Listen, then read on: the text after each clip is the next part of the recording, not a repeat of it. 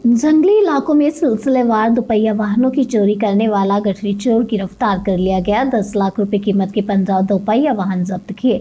भविष्य में गैरबाड़ी क्षेत्र में अपराध और गांजा प्रचलन को रोकने के लिए सख्त कार्रवाई की जाएगी।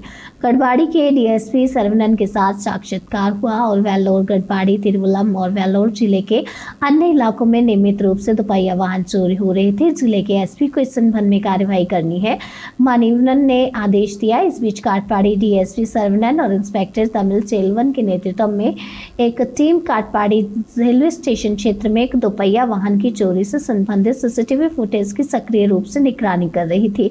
ऐसे में कल पुलिस तिरुवलम कट्टूकूट रोडू इलाके में वाहन निरीक्षण में जुटी थी। फिर पुलिस ने दोपहिया वाहन पर आए व्यक्ति से पूछताछ की, जिसमें उसने विरोधाभासी जवाब दिया और जिस वाहन पर वह आया था, उसके कोई दस्तावेज़ नहीं थे। दोपहिया वाहनों की चोरी के सिलसिले में सर्विस कैमरे पर जिस शख्स की तस्वीर रिकॉर्ड हुई थी, वह इस शख्स से मिलती जुलती थी।